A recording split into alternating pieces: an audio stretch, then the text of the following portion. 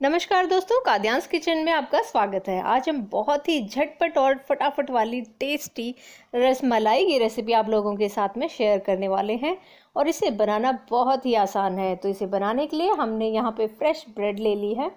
आप कोई भी ब्रेड ले सकते हैं, लेकिन वाइट ब्रेड से टेस्ट थोड़ा सा बेटर आता है। तो जो ट्रेडिशनल तरीका होता है, उससे थोड़ा सा अलग हटके है क्विक वाली है। तो ब्रेड को मैंने काट लिया है राउंडल्स में और मैं यहाँ पे ग्लास का यूज़ कर रही हूँ। कोई भी कुकी कटर या कटोरी से भी हम इसे राउंड शेप में कट कर सकते हैं। और जो कॉर्नर्स हैं, वो मैंने मिक्सी में चर्न कर लिया है और ये आप देख सकते हैं, ये अच्छे से चर्न हो चुका है और वो ब्रेड क्रम्स हम यूज़ करेंगे हमारे रबड़ी को ज़बरदस्त गाढ़ा बनाने के लिए। और मैंने यहाँ पे लिया है अभी सौ ग्राम मावा और ये मैंने घर पे ही बनाया है। दूध को गाढ़ा करके हम बना सकते हैं। और इसे आप फ्रीज़र में स्टोर करके भी रख सकते हैं लॉन्ग टाइम के लिए। फ्रीज़र में ये ख़राब नहीं होता है। और जब भी यूज़ करना होता है, बस बाहर निकाल के इसे नॉर्मल कर ले और फिर यूज़ करें। इसमें मैंने थोड़ा सा दूध डाल के अच्छे से चर्न कर लिया है और ये गाढ़ा सा पेस्ट तैयार हो चुका है।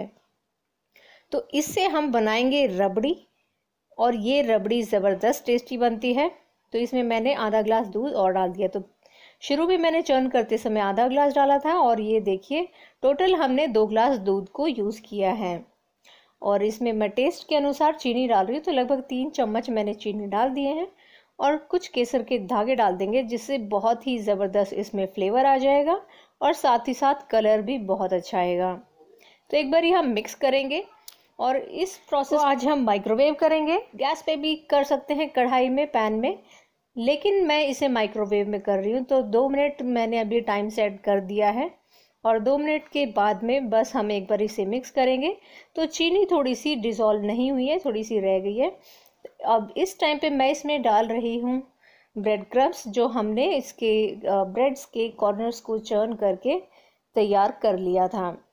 तो ये डालने के बाद में हम अपने पसंद के इसमें ड्राई फ्रूट्स डाल सकते हैं। इससे अच्छा सा टेस्ट आ जाएगा। तो मैंने यहाँ पे थोड़े से काजू, बादाम और पिस्ता डाल दिए हैं और उसके बाद में बस हम इसे मिक्स करेंगे और वापस से हम इसे माइक्रोवेव कर लेंगे। फुल पावर पे 900 वॉट का मेरा माइक्रोवेव है। तो दो मिनट मैं इसे वापस से माइक्रोवेव कर लूँगी और और एक बारी हम मिक्स करके देख लेते हैं। तो ये थोड़ा सा और हमें थिक करना है। तो मैं अब एक मिनट के करीब और इसे माइक्रोवेव कर लूँगी। तो टोटल हमने पाँच मिनट इसे माइक्रोवेव कर लिया है। और ये आप देख सकते हैं, ये अच्छा गाढ़ा हो चुका और ये ठंडा होएगा तो ये वापस से और अच्छा गाढ़ा थिक कंसिस्टेंसी में तैयार हो जाएगा। तो इसे हम ऐसे ही रख देंगे और इसमें हम डाल देंगे थोड़ा सा केवड़ा एसेंस। ये ऑप्शनल है। इससे बहुत ही अच्छी खुशबू आती है, रबड़ी बहुत ही टेस्टी बनती है। तो बस दो तीन ड्रॉप्स ही हमें डालने हैं या फिर हम इलायची का पाउडर भी डाल सकते हैं। अब ये जो रबड़ी है, इससे आप कुल्फ़ी भी बना सकते हैं और इस तरह की रसमलाई भी बना सकते हैं। तो ये आप देख सकते हैं, ठंडा होने के बाद में ये और अच्छा थिक हो जाता है, गाढ़ा हो जाता है।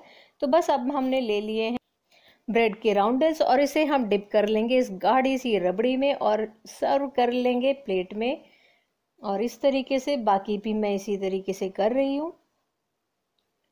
तो दोस्तों, जो ट्रेडिशनल तरीका होता है उसमें हम दूध को फाड़ करके उसका छीना बनाते हैं, उसके बाद में रस मलाई को बनाते हैं। लेकिन ये इंस्टेंट और फटाफट वाला तरीका है और ये भी बहुत ही डिलीशियस बनती है। तो आप इस रेसिपी को ज़रूर से ट्राई कीजिएगा और इसे फ्रिज में रख के ठंडा ठंडा आप जब सर्व करेंगे तो ये बहुत टेस्टी लगेगा। ड्राई फ्रूट्स डाल देंगे ताकि ये बहुत ही सुंदर सा लुक आए और अच्छे से हम इसे गार्निश करके तैयार कर सकते हैं। तो ये लीजिए फ्रेंड्स, तैयार हो चुकी है आज की हमारी ज़बरदस्त रसमलाई। बहुत ही क्विक वाली और बहुत ही इजीली बन जाती है। ज़रूर से ट्राई कीजिएगा, वीडियो अच्छी लगी तो प्लीज़ लाइक ज़रूर कीजिएगा। शेयर करें इसे अपने फैमिली और फ्रेंड्स में और कमेंट करके ज़रूर बताइएगा आज की रेसिपी आपको कैसी लगी।